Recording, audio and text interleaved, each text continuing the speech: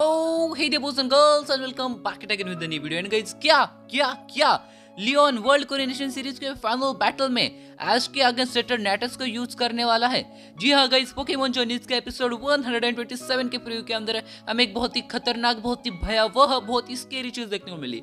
जो थी guys एटरनेटस and guys मैं खतरनाक चीज़ यानी कि एटरनेटस की बात नहीं कर रहा। उस प्रीव्यू के अंदर हमने देखी गई देखा गई जो कि कुत्ता कैसे बिस्किट के पीछे दुम हिलाते हुए चला आता है वैसे ही उस प्रीव्यू के अंदर उस प्रीव्यू के अंदर एटरनेटस लियोन के पीछे दुम हिलाते हुए चल रहा था जो कि काफ़ी ज़्यादा शांत था। एंड गाइस ये चीज़ देखने के बाद लोगों को लग रहा है गाइस कि एटरनेटस लियोन का पालतू बन चुका है। सो so गाइस इसी टॉपिक के ऊपर आज की वीडियो के अंदर हम बात करने वाले हैं गाइस क्या सच में लियोन एश के अगेंस्ट एटरनेटस को यूज़ करने वाले रीजंस के साथ बात करेंगे।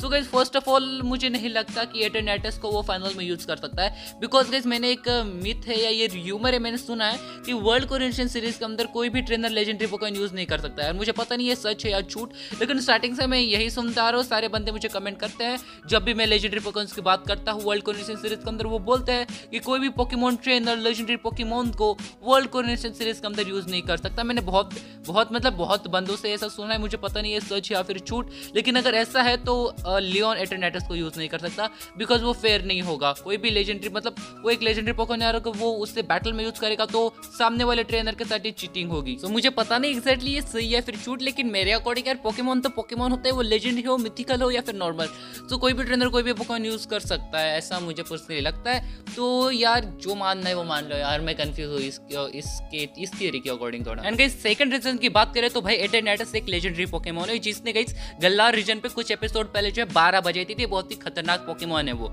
एंड गाइस मुझे लगता है फ़िलहाल वो शांत हो चुका है। प्रोफेसर वो जो प्रोफेसर मैग्नोलिया उसने कुछ किया होगा इसलिए एटेनेटस थोड़ा शांत बैठा है। वरना भाई वो बहुत ही खतरनाक पोकेमोन है। मुझे नहीं लगता वो लियोन जिससे ट्रेनर की बात मानेगा। यार मतलब अगर वो अगर वो उसे कंट्रोल करना चाहेगा तो एटेनेटस भी लाइक भाई कम कंधा मतलब उंगली दी है, कंधे पे चढ़ के कुछ और मत कर भाई यार। मतलब यार, समझ रहे हो मैं क्या कहना चाह रहा हूँ। वो एटेनेटस पोकेमोन है, अगर वो थोड़ा शाम थे तो इसका मतलब ये नहीं कि कोई भी उसे कंट्रोल करे। एटेनेटस एक लेजेंडरी पोकेमोन है, कोई भी उसे कंट्रोल नहीं कर सकता तो कोई भी उसे कंट्रोल करके बैटल करने के लिए मजबूर नहीं कर सकता। एंड मुझे नहीं लगता लियोन वैसा करेगा। लियोन जो सिर्फ़ एटेनेटस के साथ थोड़ा फ्रेंडली होने की कोशिश कर रहा होगा फिर फ्रेंडली हो चुका होगा इसका मतलब ये नहीं कि वो उसे बैटल में यूज़ करे आज के आगे। भाई एंड गेस वैसे भी एटरनेटस ओरिजिनली गो का पोकेमोन है बिकॉज़ गो ने अपने पोकेबॉल से उसे पकड़ा था एंड उसने प्रोफेसर मैग्नोलिया को हैंड ओवर कर दिया उसे संभालने के लिए।